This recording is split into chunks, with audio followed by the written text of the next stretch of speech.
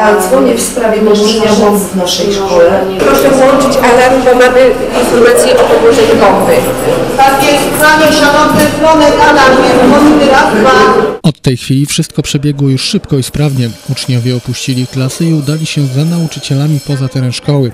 W tym samym czasie na miejscu zjawiła się policja, która zabezpieczyła teren wokół placówki oraz wezwana przez nią straż pożarna oraz służby ratunkowe. W następnej fazie przystąpienie do sprawdzenia szkoły i to jest czynność, którą już wykonał e, przewodnik psa e, tropiącego wraz właśnie z pieskiem. Oni sprawdzili teren szkoły, w szczególności sprawdzili w tym konkretnym przypadku piętro, na które osoba zgłaszająca fakt podłożenia ładunku wybuchowego mówiła, gdzie ten ładunek jest zlokalizowany. Dokładne przeszukanie budynku nie przyniosło jednak efektu.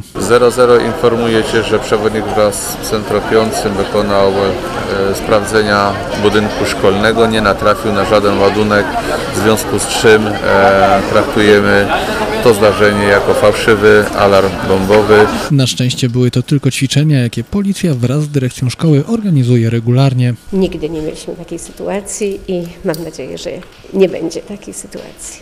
Natomiast co roku robimy próbne ewakuacje. Uczą nas, że taka sytuacja może się zdarzyć i przygotowujemy się, żeby młodzież umiała poruszać się po szkole w takich niecodziennych sytuacjach, żeby wiedziała, którędy się schodzi, gdzie ma się udać, pod oczywiście okiem nauczycieli. Dlatego o rodzajach alarmów i ewakuacji uczniowie uczą się także na lekcjach. Na zajęciach edu, edukacji dla bezpieczeństwa przerabiamy dokładnie, była kartkówka z tego na przykład i dokładnie co po kolei trzeba w tak danym przypadku zrobić. Czym się różni alarm w przypadku podłożenia bomby, a alarm pożarniczy. Trzeba zabrać wszystkie torby, no i drogą ewakuacji uciec, y, bezpiecznie przedostać się na miejsce ewakuacji, a w przypadku pożarniczym trzeba pozamykać wszystkie okna i zabrać ze sobą tylko dokumenty.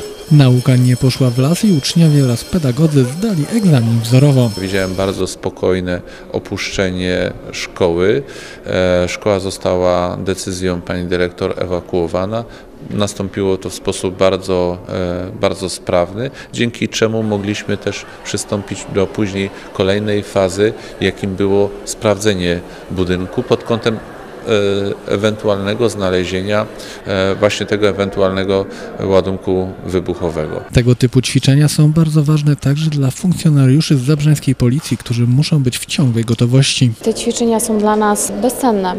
Pozwalają skoordynować działania służb e, Policji, Straży Pożarnej, e, a także załogi karetki pogotowia na wypadek, gdyby faktycznie przydarzyła się sytuacja taka jak dzisiaj, czyli alarm bombowy w jednej z, ze szkół. Na szczęście, jeżeli chodzi o placówki oświatowe, takich zgłoszeń mamy niewiele.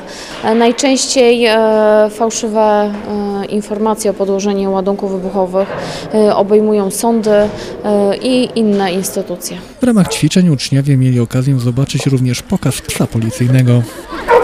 Mam czas.